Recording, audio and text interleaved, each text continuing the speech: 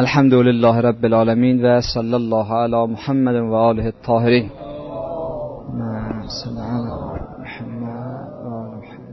و لعنت الله علی اعدائهم اجمعین من الان لا قیام یوم الدین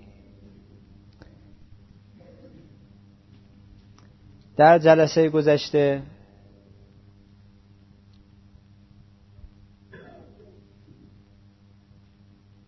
چند تا مطلب رو درباره کلمه اطاعت از خداوند خدمتون عرض کردیم یک مطلب این بود که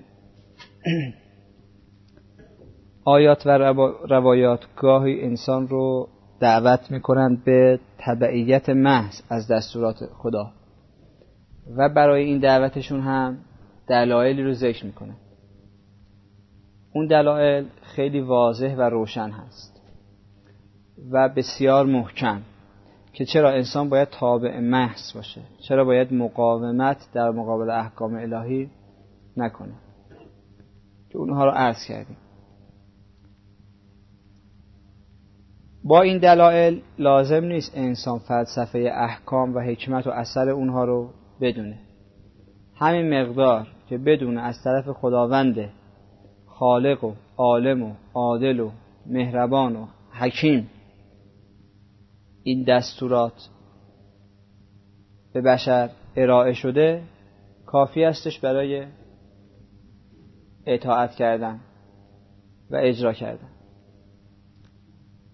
دسته دوم آیات و روایات اونهایی بودن که حکمت و فلسفه احکام رو بیان کردن. به چه دلیل حکمت و فلسفه احکام بیان شده؟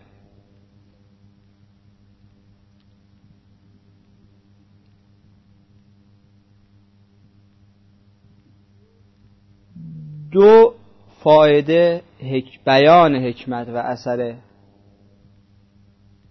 احکام الهی داره. یکی اینکه انسان خداوند به طور فطری او رو طوری آفریده که وقتی دلیل کاری رو دونست واقعا پی برد به فایده و یا ضرر چیزی رابطهش با اون چیز درست تنظیم می‌کنه. اگر فهمید که چرا فلان چیز ضرر داره حرام شده راحت تر می‌تونه عمل نکنه. و یا اگر فهمید چرا فلان چیز حلال شده راحت تر عمل می‌کنه. انسان اینطوری هستش.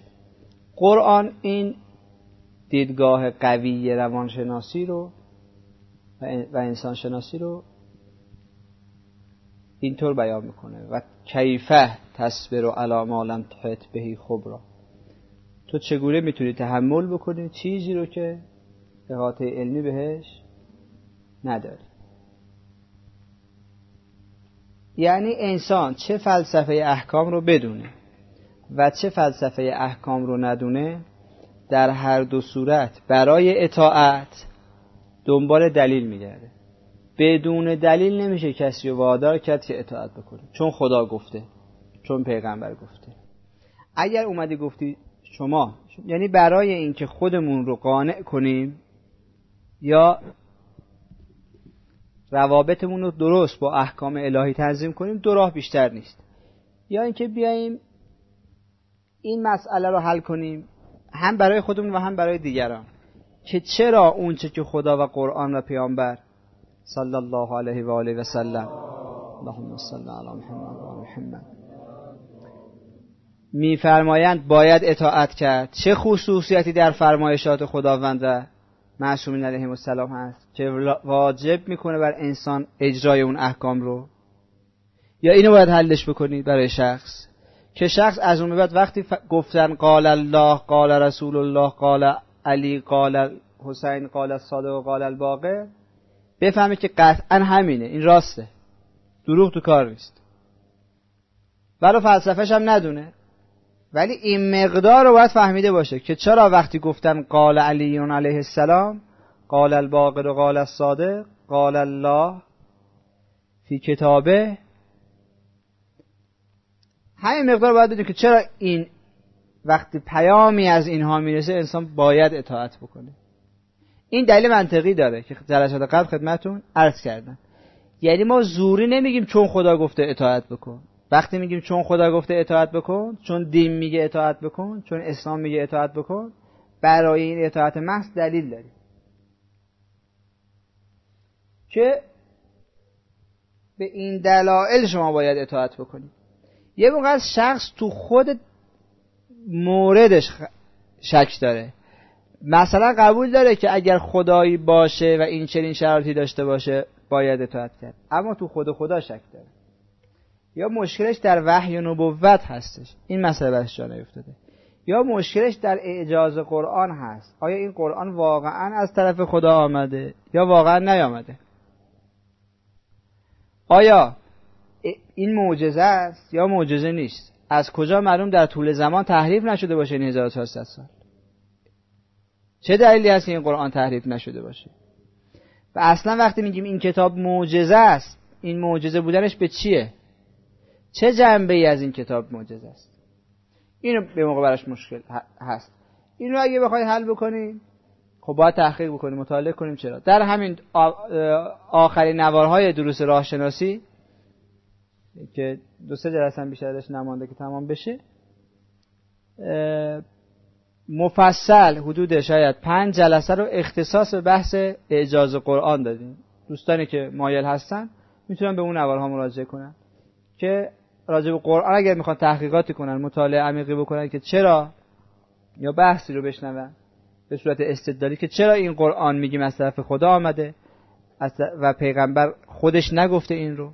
واقعا وحی بوده و واقعا این کتاب معجزه است. و اصلا چرا معجزه است؟ و کجای این کتاب معجزه است؟ و چرا تحریف نشده؟ مسلمان ها معتقدن تحریف نشده. دلایل اینو محکم اونجا بیان کردیم. اگر دوستانی احتیاج دارن برای خودشون قانع کردن ذهن خودشون و یا قانع کردن ذهن دیگران به اون نوارهای آخر دروس راهشناسی مراجعه کنم رو بگیرم از نوارخونه و گوش بکنم که دیگه لازم نیست. من دوباره وقت شما عزیزان رو اینجا بگیرم.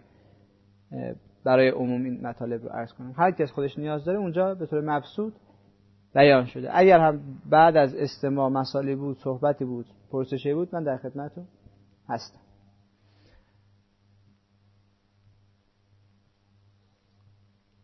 پس یا باید بگیم که چرا حرف خدا اعتبار داره؟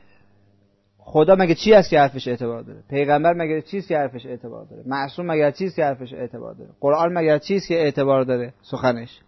یا اینو باید حل کنیم؟ اگر اینو حل کردیم این بعد از این دیگه انتظار این که مردم یا اونی که براش مسئله رو حل کردیم تابع محض باشه انتظار معقول است اما قبل از این قضیه معقول نیست. اما شناخته به این که هرچی خدا گفته همون خوبه. هرچی خدا گفته واقعا حق همون هست. این شناخت از دو راه هستش. یک شناخت شناخت نظری هست یعنی علمی هست. افراد میان مثلا همین بحث‌های راهشناسی رو گوش می‌کنن این درست رو گوش می‌کنن یا این مباحثی من خدمتتون عرض می‌کنم گوش می‌کنن. بحث نظری است. ایراد داشتن می‌گیرن و مسئله رو حلاجی می‌کنن براشون حل میشه که چرا سخن خدا اعتبار داره چرا سخن پیغمبر و معصومین علیهم السلام اعتبار داره چرا سخن قرآن اعتبار داره و لازم هست انسان اگر از طرف اینها امر بهش شد یا نه شد صد درصد تابع محض باشه اینو با بحث نظری حلش می‌کنه یه موقع هستش که نه شناخت شناخت قلبی است شناخت دلی است یعنی دل شخص بهش گواهی میده که اینها حقن. مثل قالب مردم قالب مردم شناخت استدلالی و تحقیقی ندارند. ولی تقلیدی و قلبی قبول کردن. دقت کنید تقلیدی و قلبی. چون بحثی هستش که اصول دین تقلیدی نیست بلکه چیه؟ تحقیقیه. اما غالب مردم رو که ما می‌بینیم تحقیق نکردن. پس آیا اصول دینشون قبول نیست؟ آیا ایمانشون قبول نیست؟ چرا؟ اگر تقلید به تحقیق باشه قبول هستش. یعنی چی؟ یعنی مردم خودشون نمیرن تحقیق بکنن. اما تحقیقات یه نفر رو بهش ارزش میدن اعتبار میدن. میگن این پیش نماز مسجد ما قبول داریم. ایشون آدم ملایی است درس خونده. بالاخره ایشون وقتی میگه هست قیامتی هست شرایط قیامت این چنین هست. نمازی هست شرایط وجوبش این هست شرایط بطلانش این هست. روزه هست. این شرایط و آداب رو داره. چه اینو چنان هست. میپذیره. به تحقیق علما مراجع به اونها اعتماد می‌کنن و دلشون هم کمکشون می‌کنه. این پذیرش قلبی پذیرش بسیار زیبایی هست پذیرش بسیار عمیقی هستش و خیلی وقتا بعضی از افراد شاید تحقیقات نظریشون هم به دادشون نرسه ولی تح... اون ایمان قلبیشون کمکشون می‌کنه. ایمان دلیشون کمکشون می‌کنه. و اینها اصلا کمک همدیگه هستن. بعضی وقتا ایمان دلی ایمان تقلیدی کم میاره که با تحقیق و نظر انسان قوت می‌گیره و راه رو خوب می‌تونه طی بکنه. بعضی وقتا شخص محقق دچار ضعف هست. اما اون که او جلو می‌بره چیه؟ دلش هست. جلو می‌بره. یعنی مثلا از نظر نظری از نظر فکری و ذهنی دچار مسئله شده دچار خلع شده خلع ذهنی شده دچار اشکال هست ایراد داره به بعضی از مسائل اصولی. اما دلش میگه تو عملتو انجام بده و برای اون بحث اون, اون مشکل نظریت برو سوال کن. رابطهشو با خدا قطع نمی‌کنه. رابطهشو با احکام الهی به هیچ وجه قطع نمی‌کنه. فقط تحقیقش رو ادامه میده. به تحقیقش عمق بیشتری میده. خیلی کمک می‌کنه پس از این دو راه شخص می‌تونه؟ لزوم تبعیت محض رو کسب بکنه مطلع بشه بر این.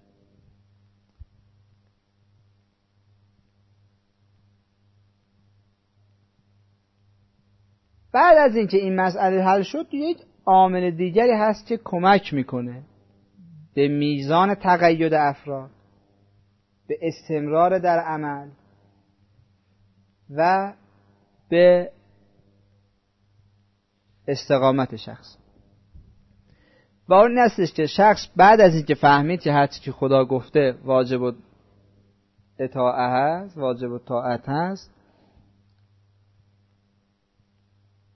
بیاد فکر بکنه در حکمت تک تک احکام. اونهایی که میشه فهمید.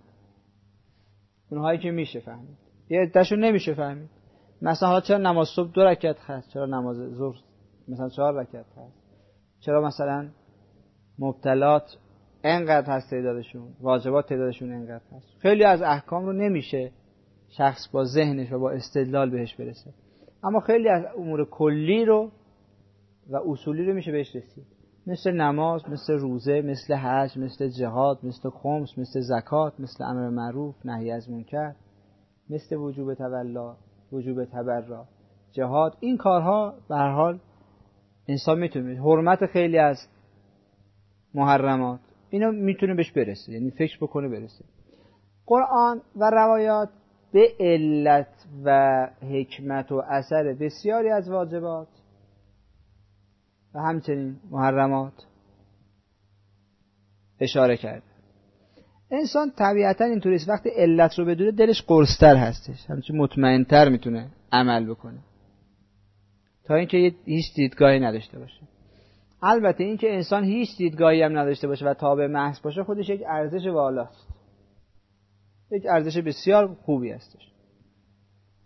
اصلا شیرینی ایمان در همین هست که انسان چون خدا گفته شناختش از خدا به قدری باشه شناختش از مسائل اصولی به قدری باشه که بعد از اینکه فهمید خداوند فرموده قرآن فرموده معصومین علیهم السلام فرمودن دیگه هیچ شکی براش نباشه. راحت انجام بده. همین که می‌دونست واجب است. به واجب که برمیخوره انجام میده. این یه شیرینی داره این یه ارزشی داره خودش. اما ما رو از فکر کردن در حکمت و فایده احکام من نکردن. این اصل هم اسلام پذیرفته که اگر کسی حکمت رو دونست اونجا که ضعف در اصول ممکنه مانع بشه خود توجه به فایده هم و اثر هم می‌تونه شخص رو جلو ببره. در همون داستان حضرت موسی علی نبینا و علیه السلام و خضر علی نبینا و علیه السلام می‌بینیم که چرا حضرت موسی نمی‌تونه طاقت بیاره با خز ادامه مسیر بده شاگردی بکنه؟ علت این هستش که فلسفه کارهای خز رو نمی‌تونست درک بکنه.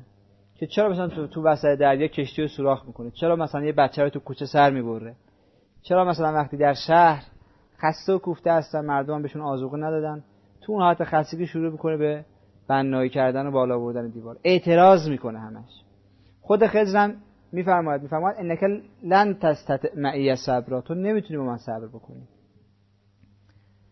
بعد وقتی هر سه مرتبه موسی اعتراض می‌کنه و تحمل نمی‌کنه خیلی میفرماد علم اقول لک انک لم تستطع معی صبر من نگفتم تو نمی‌تونی صبر بکنی نمی‌تونی تحمل بکنی. و کیفیت تصویر الان مالم توید به خبرا تو چگونه می‌تونی چیزی رو تحمل کنی در حالی که بهش احاطه نداری؟ احاطه علمی نداری چگونه می‌تونی تحمل کنی یه همچین چیزی رو؟ پس قرآن اون شناختی که از انسان به ماها میده به خودمون میده این هستش که انسان وقتی فلسفه و فایده کاری رو دونست تحملش هم چی میشه؟ بیشتر میشه. صبر و مقاومتش هم, هم بیشتر میشه. لذا همیشه استقامت شجاعت مبارزه معلول بینش افراد هست. هر مقدار ایمان و بینش افراد بیشتر باشه مقاومتشون صبرشون بیشتر هست. در مقابل همه احکام الله اونجا که شخص متزلزل میشه اونجا که شخص رها می‌کنه عمل رو اونجا دچار ضعف عقیده است. دچار ضعف بینش هستش. که رها می‌کنه عمل رو. خسته میشه. میگه مثلا ما ساده بودیم نماز میخوندیم. ما ساده بودیم روزه می‌گرفتیم. این کارا رو پخمگی می‌دونه. یا مؤمنین رو مسخره می‌کنه. یا اونهایی که مقید هستن به استهزا میکشونه تمسخر می‌کنه تحقیر می‌کنه. این ضعف در بینش هست. ضعف در ایمان هست که آرز شخص شد. شخص اگر خودش رو مداوا نکنه کشیده میشه به وادی کفر. وادی کفر این تولد ناقص. دقت بفرمایید. این تولد ناقصه به قیامت. تولد ناقص گفتیم عذابش چی هستش؟ عذابش همیشگی است همونطور که اگه کسی ناقص الخلقه متولد شد برای همیشه در دنیا دچار عذاب هست. کسی هم که ناقص متولد به آخرت شد برای همیشه دچار عذاب هستش. چون اصول رو با خودش نبود این یه مسئله.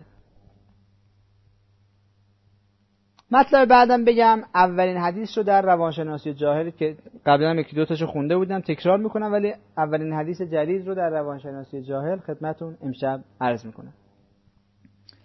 مطلب بعد این هستش که دانستن حکمت احکام فلسفه و اثر و فایده احکام فقط از این جهت که در شخص استقامت و استمرار در عمل و تقید ایجاد می‌کنه نیست بلکه فایده بسیار مهم دیگری هم داره. و این هستی که وقتی قرآن میفرماید که نماز فایدهش چیه شخص می‌تونه عمل خودش رو با اون فایده چیکار بکنه؟ بسنجه ببینی عملش آیا اون عملی هست که اون فایده رو بده یا نه. مثلا وقتی میفرماید ان الصلاه تنها عن الفحشاء و المنکر نماز انسان رو از زشتی ها باز میداره؟ از منکرات باز میداره؟ شخص می‌تونه با همین بعد پیغمبر می‌بینید صلی الله علیه و آله و سلم اللهم صل علی محمد و آل محمد. روی همین آیه استدلال می‌کنه. میفرماید هر کس نماز بخونه ولی از گناهاش کم نشه این هر مقدار نماز می‌خونه از فاصلش از خدا چی میشه؟ بیشتر میشه دورتر میشه.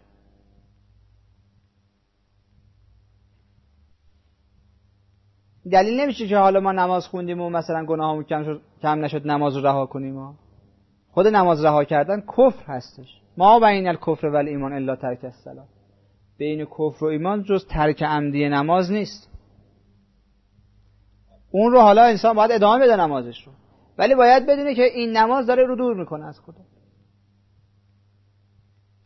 چون تکبر میگیرش خودش نماز خون می‌دونه دیگه. ما نماز خون هست و همین گولش می‌زنه. باعث میشه که جرأت پیدا کنه تو بقیه گناه ها عین همین هست مثلا جبهه رفتن. خیلی جبهه میرن بعد جرأتشون به گناه بیتوجهی حریم شکنی پررویی بیادبی نمی‌دونم فهاشی کردن حدود الهی رو رعایت نکردن به خاطر که رزمنده است مثلا خیلی تو جبهه کار کرده. این غرور میگیرش.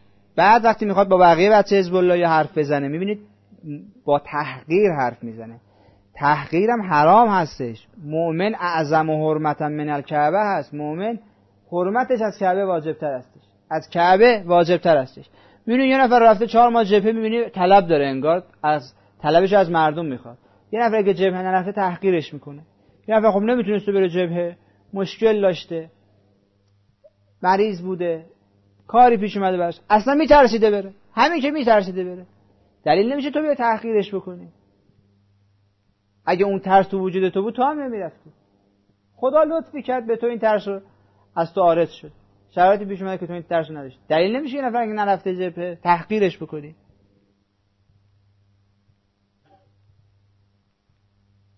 خودتو بهتر بدونی.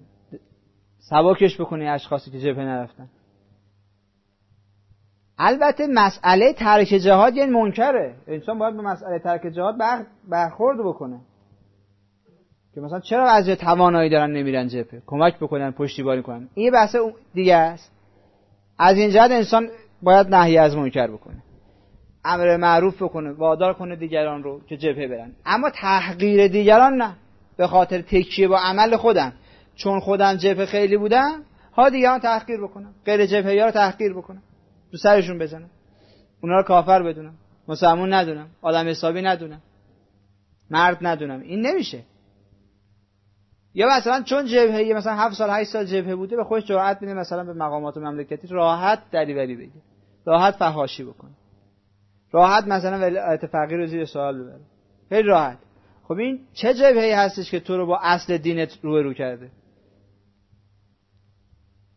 زامن قبول شدن جبهه تو نماز تو ولایته. همه شعبه ولایت. از ولایت پیغم خداوند پیغمبر ائمه بگیر و یا ولایت فقیه. فرقی نمی‌کنه. زامن قبول شدن اعمال تو میزان تبعیت تو از ولایت میزان اطاعت تو از ولایت. وقتی این جبه تو رو در مقابل ولایت قرار داده وقتی سوابق مبارزاتی تو رو در مقابل ولایت قرار داده این دورت می‌کنه از خدا. همین سوابق هستی بدبختت می‌کنه.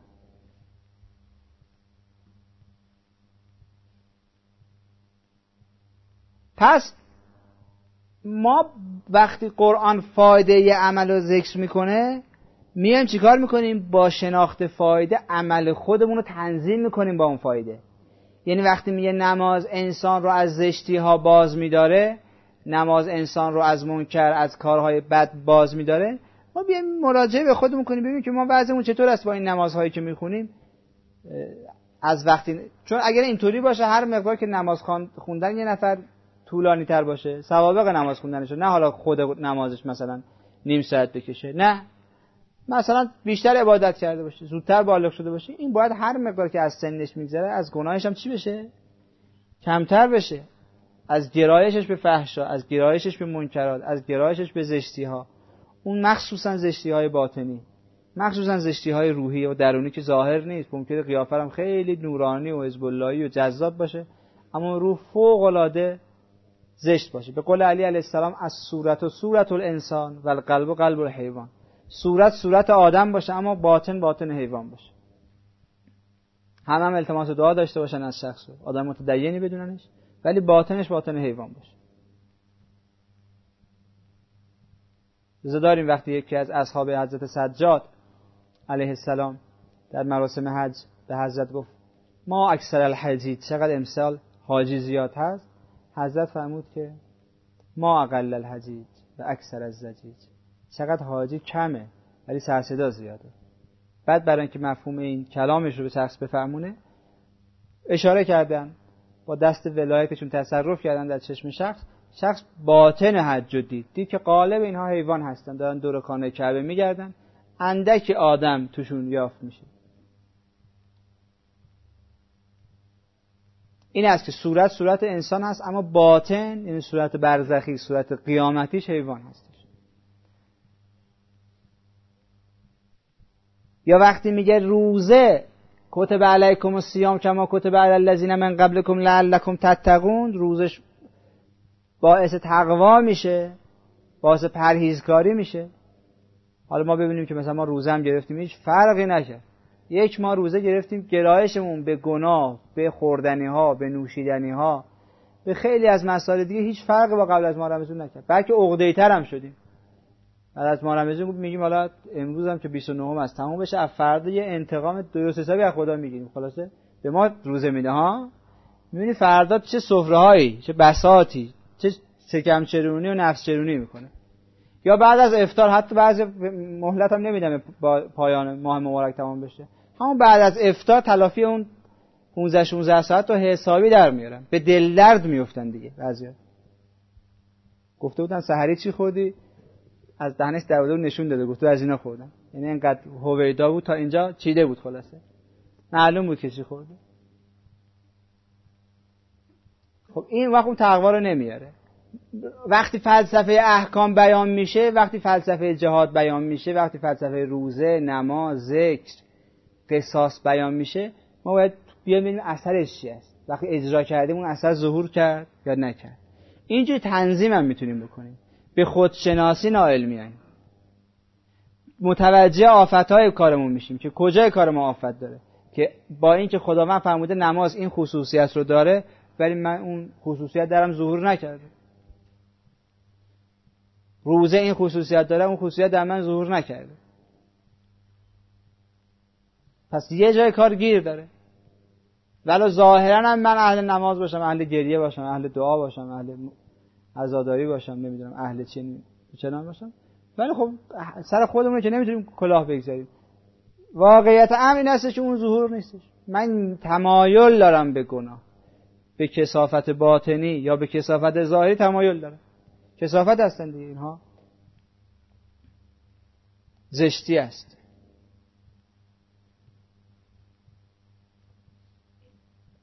من تمایل دارم. تقوا دارم ایجاد نمیشه. از گناه بدم نمیاد خوشم میاد. به زور باید جلو خدا نگه داره قرآن ببینید وقتی مسئله لباس رو مطرح می‌کنه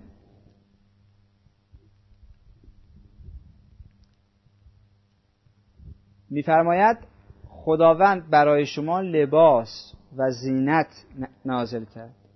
و بعد میفرماید و لباس و تقوا ذالک خیر اون بهتر هستش. یعنی دو نوع لباس برای انسان معرفی کنه یک لباس لباس ظاهر هست و لباس انسان بدنش رو عورتش و زشتیهاش رو باش میپوشونه. و لباس زینت هست که انسان بپوشه و زینت بکنه زیبا کنه خودش رو. و یه لباس معرفی می‌کنه برای روح انسان و اون تقواست. می‌فهمید؟ لباس و تقوا ذالک خیر لباس تقوا بهتر است یعنی چی؟ یعنی انسان با تقواست که می‌تونه مانع زشتی های روحی بشه زشتی های باطنی بشه.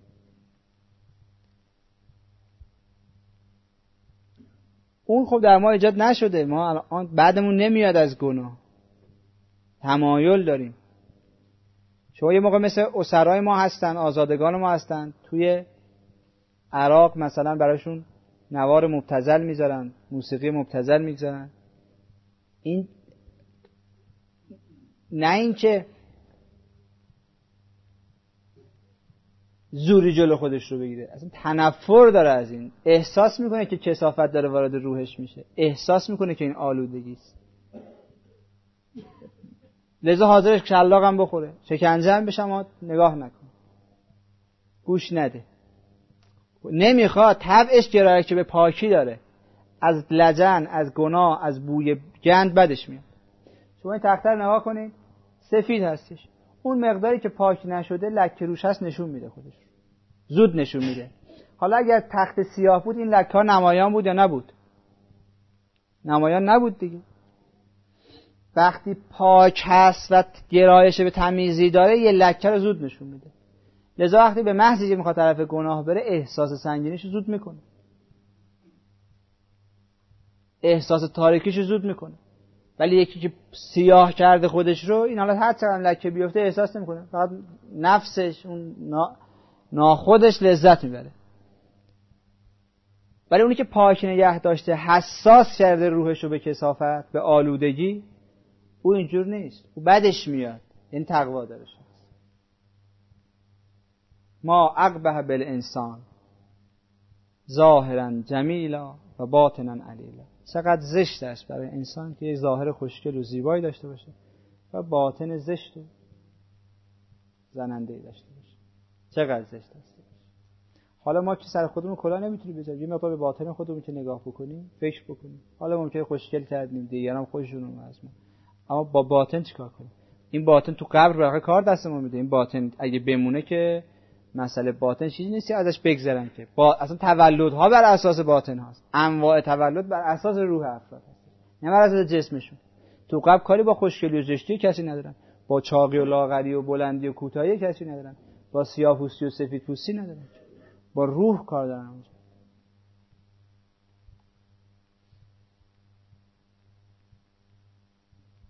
پس ما به وسیله شناخت حکمت احکام می‌تونیم خودمون رو هم بشناسیم.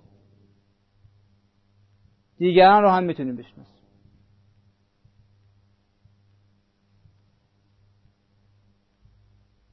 اگر این مداوات درست انجام شده بود این اثر رو باید میذاشت. خوب نگذاشته دیگه. اگر این غذا درست خورده شده بود.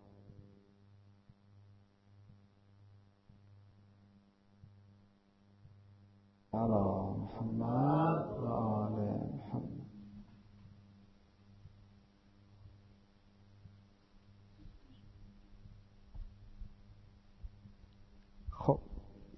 حالا برمیگردیم با توجه به این مطالب سر وقت بحث روانشناسی جاهل. یکی از یاران رسول خدا صلی الله علیه و آله و سلم اللهم صل علی محمد و آل محمد. عرض کردن خدمتشون که آقا شما چرا وقتی حرف می‌زنی حرف شما به دل ما مینشینه؟ چرا سخن شما به دل ما مینشینه؟ بقیه این چنین نیستن وقتی میشینیم پای صحبتشون صحبتشون به دل ما نمینشینه. ایشون فرمود هر کس پیش رسول خدا رفت از حضرت سوال, سوال کرد که من چه بکنم که به بهشت برم. اما من هر وقت خدمت ایشون رسیدم سوال کردم که چه کنم که به جهنم نرم. یعنی من همش به دنبال شناخت آفات بودم بقیه به دنبال جمع کردن ثواب بودم. و چون جمع کردن ثواب بدون شناخت آفات هیچ فایده نداره. چون آفات میاد عبادت 50 سال 60 سال از بین می‌بره این فایده نداره. من به دنبال شناخت آفت ها بودم. لذا مطالعه گناه و گناه شناسی خیلی بهتر از مطالعه در عبادت ها در فضیلت ها در ثواب ها در این چیز هاست انسان کسافت رو وقتی شناخت اون موقع راحت دوری می‌کنه. اول جان دفع شر موش کن وانگهی در جمع گندم کوش کن. اول این یعنی هر مقدار یه جوون وقتشو در ابتدای جوانیش بگذاره رو شناختن آلودگی ها چه ظاهری چه باطنی این شخص در آینده موفقتر هستش راحتتر هستش. در پی بودن مسیر کمال موفقتر هست. اما اگه هی رفت دنبال ثواب دنبال اینکه چی ثواب داره چی بیشتر ثواب داره چی کمتر ثواب داره. این چون آفت ها رو نمی‌شناسه فریب زیاد می‌خوره. زیاد میبازه سرمایه عمرش رو. عبادتاشو زود از دست میده سرمایه خودش رو. لذا ما وقتی بیایم سر روانشناسی جاهل رو بخونیم یعنی آفتهای انسان یعنی یاد می‌گیریم که جاهل نباشیم. وقتی جاهل نبودیم خود به خود چی هستیم؟ عاقل هست این مهمتر است. اول ما بشناسیم که جاهل چه کسی است چه کارهایی رو نباید بکنیم. یک الجاهل لا یعرف تقصیره و لا یقبل من النصیح له. این رو که خدمتون قبل از ماه محرم مسائل مربوط به فلسفه عزاداری و مباحث فلسفه سیاسی و امر معروف نهی از منکر شروع بشه. خدمتون این رو عرض کردم. که جاهل خصوصیتی که داره این هستش که اول از این اشتباهات خودش رو پی نمی‌بره کوتاهی خودش رو پی نمی‌بره. چی هست؟ همیشه خودش رو کار درست می‌دونه. همیشه خودش رو محق می‌دونه. و سلام علیکم. به دیگران ایراد زیاد می‌گیره. یعنی عیب و ایراد دیگران رو خوب می‌شناسه. اما عیب و ایراد خودش رو پی نمی‌بره. به دیگران خیلی راحت می‌تونه انتقاد وارد بکنه.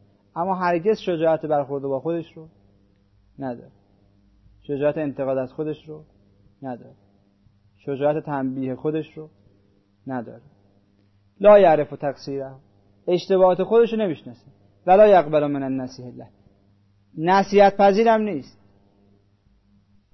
یعنی هر چقدر تو گوشش بخونی تاثیر نداره.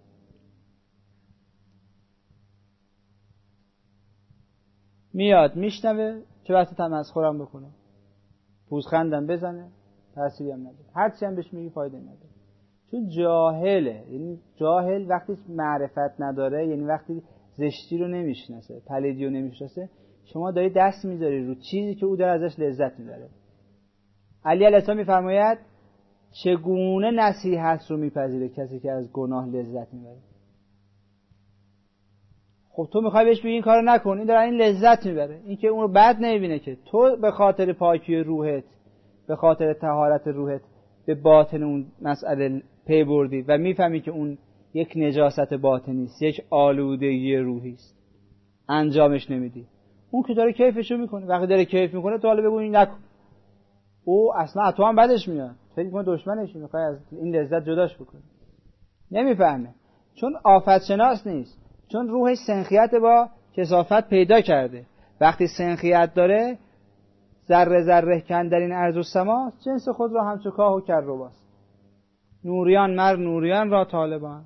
ناریان بر ناریان را جذب. وقتی سنخیت داره سنخیت عامل جذبه عامل عشق و علاقه است. تو می‌خوای بهش بگی چی؟ نکنه. این که داره از اون کار لذت می‌بره. اصلا همه آزوق روحش همه عشقش همینه. به خاطر با غذای طیب سر کار نداشته. با چیز پاک سر کار نداشته هیچ موقع. همیشه همین بوده خورده. مثل مگسی که همیشه روی کسافت نشسته. اونسی با گل نداره اونسی با بوی خوش نداره. بیزار هست از بوی خوش. بدش میاد میگن بنده خدایی تو روستا بود مثلا یه روز با دوستش میاد شهر سر بزنه. بعد گذرش رو میفته بازار عطارا. بازار عطارا بوی عطر خوشه دیگه. این طرف بوی عطر می‌خوره بهش بیهوش میشه. میفته بیهوش میشه. مردم میان که اینو سر حال بیارن. خب معمولا وقتی کسی بیهوش میشه در گلابی چیزی میریزن سر صورتش بهوش بیاد. خب هر چی گلاب میریختن حالش بدتر می‌شده بعد رفیقش میگه من می‌دونم این مشکلش یه ذره پهن میاد می‌گیره جلو بینیش طرف بهوش میاد. چون عادت به این کرده. یعنی با بوی عطر عادت نداشته تا با یه دفعه به مشامش می‌خوره بیهوش میشه. عین این تو مسافرت آخرتی داریم. در مسافرت آخرتی داریم کسی که روحش قوی نیست وقتی بوی عطر بهشتی مشامش بخوره هلاک میشه. وقتی زیبایی حوری بهشتی ببینه تحمل نمی‌تونه کنه. میمیره. هلاک میشه. اگر تو این دنیا کسی این حالت نداشته باشه یعنی عادت نکرده باشه به پاکی نمی‌تونه زیب... از زیبایی خودش نمیاد. چرا یکی از صوت قرآن چقدر لذت می‌بره؟ احساس می‌کنه توی بهشت هست. از یک روزه سوید و شهدات چقدر لذت می‌بره؟ احساس می‌کنه دیگه هیچ لذتی از عبادت دنیا وجود نداره. بعد یک وقتی می قرآن میشنوه احساس چندش می‌کنه. اشمعزت قلوب الذین لا یؤمنون. اذا ذکر الله. قرآن می‌فهمد میفهم وقتی اسم خدا میاد اشمعزاز قلبی پیدا می‌کنن. تنفر قلبی دارن. بعدشون میاد اونایی که ایمان ندارن سنخیت ندارن بعدشون میاد. اسم خدا معنویت نمی‌دونم قیامت ائمه علیهم السلام. وقتی میاد این شخص بدش میاد. بیزار هستش. جز سنخیت نداره.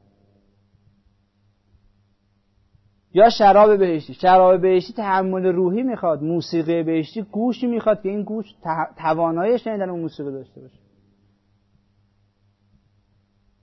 وقتی کسی گوشش رو با موسیقی حرام عادت داد آلوده کرد این که نمی‌تونه از اون استفاده کنه. کسی با نجاست عادت کرد با پاکی رابطه ای نداره. لذا چون روحیش این چنین هست ولا یقبل من النصیح الله. نصیحت نمیپذیره. چون وقتی نصیحت بهش می‌کنی می‌خوای اون از لذتش جدا کنی. و این چون داره لذت می‌بره هر چی ازش میگی این یه چیز دیگه میشنوه یه جوری دیگه میشنوه احساس می‌کنه تو دشمنشی احساس می‌کنه بدش رو می‌خواد احساس می‌کنه قرض شخصی داری. بدش نمیفهم این یه نکته. نکته دوم نمی‌دونم این رو عرض کردم یا نه مربوط به این بحث هستش امروز امشب مفصل خدمتتون عرض کردم. الجاهل یستوحش مما یعنس به الحکیم. شخص جاهل از اون چه که شخص عاقل و فهمیده شخص حکیم بهش علاقه داره شخص جاهل وحشت داره. از همون چیزی که شخص عاقل بهش عادت و انس داره. چرا؟ چون حکیم می‌دونه داره چه کار می‌کنه. پی برده و اونس علاقه استمرار در عمل داره. جاهل چون نمی‌شناسه هیچ علاقه ای نداره. لذتی نمی‌بره. وحشت می‌کنه. امروز بنده خدا اومده بود اینجا می‌گفت من داشتم کتاب دینی میخوندم. یکی از دوستان گرایشات باطل داره. اون گفت این مزخرفات چی می‌خونی؟ این چیزا چی حوصله داری تا من اینو می‌خونی خب چون نمی‌فهمه هیچ احساس نیازی به دین آموزش دین یادگیری مسیر ابدیت نمی‌کنه. اصلا اون خودش ابدی نمی‌بینه و فکر نمی‌کنه که مسیر ابدی داره و این مسیر جز با علم جز با آگاهی تعیین نمیشه. لذا هیچ نیازی هم به مطالعه کتاب دینی احساس نمی‌کنه. فکر می‌کنه کتاب دینی همینطوری برای مش آخون نوشته شده. از بغل کتابخون رد میشه توجه نمی‌کنه. ولی از بغل مغازه ورزشی رد بشه. مثلا پوتیناشو نگاه می‌کنه کتونیا رو نگاه می‌کنه جنس های دیگر رو نگاه می‌کنه. از بغل مغازه مثلا کفش فروشی رد میشه کفشاشو نگاه می‌کنه. چون میگه خب به کار میاد. کفش با باید با بپوشیم پیرم فروشی کت شلوار فروشی نمی‌دونم. میوه فروشی. به حال به اینا نگاه می‌کنه. چون احساس نیاز می‌کنه به اینا. اما وقتی از بغل کتاب یعنی غذای روح رد میشه چون روحش اصلا سنخیت با غذای معنوی و پاک نداره احساس نمی‌کنه که منم باید مطالعه کنم. منم باید بشنوم. هیچ احساس نیازی نمی‌کنه. بسیار خیلی راحت وجدانش هم خیلی راحت هستش. اصلا احساس از یعنی این عذاب وجدان سراغش نمیاد. راحت راحت. میگه اینا چی هستش؟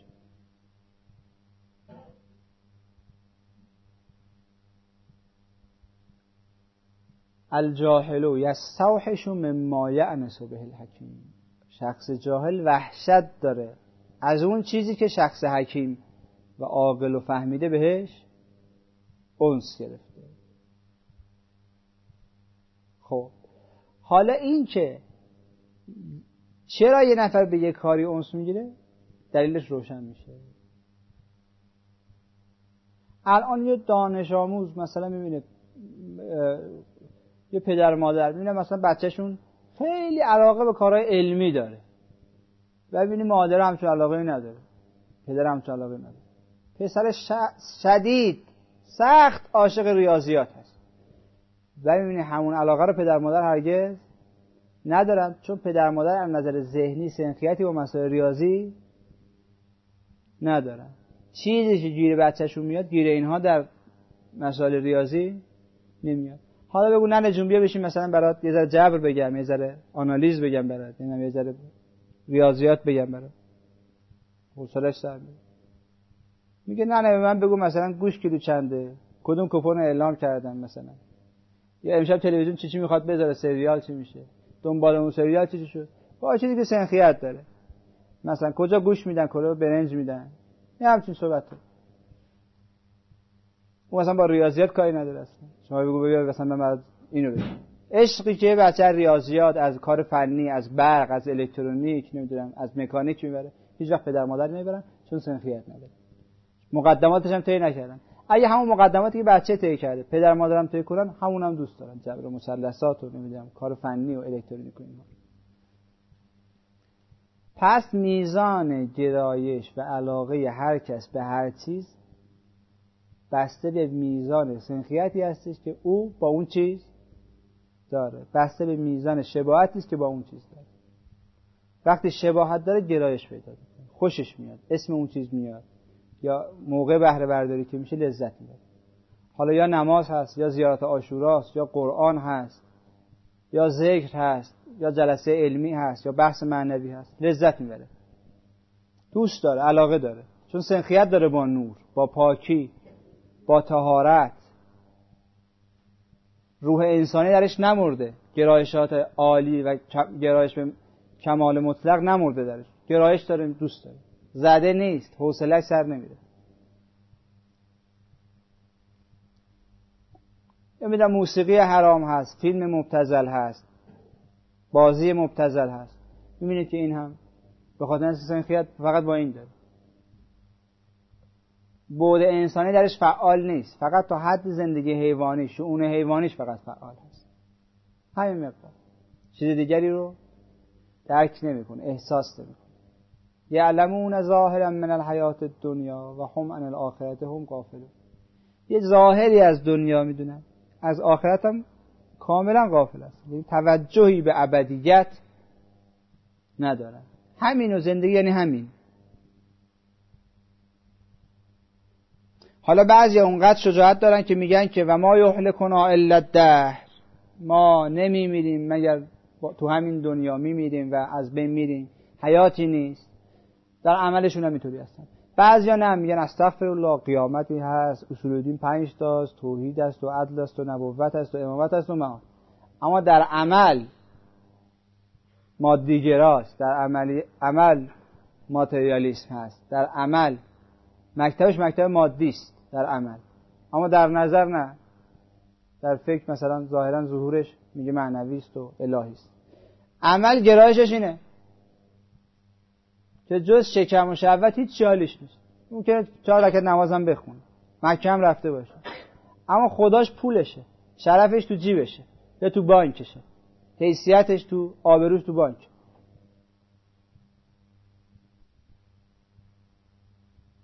پس وقتی این شناسایی رو از جاهل به ما میدن که جاهل همیشه از چیزهایی که به شناخت ند... به شخص عاقل بهشون علاقه داره وحشت زده است علتش با توجه به این توضیحاتی که این دو جلسه قبل عرض کردم می‌فهمیم که چرا جاهل میترسه وحشت داره اونس نداره با چیزهایی که افراد حکیم و فهمیده و عاقل بهشون گرایش داره.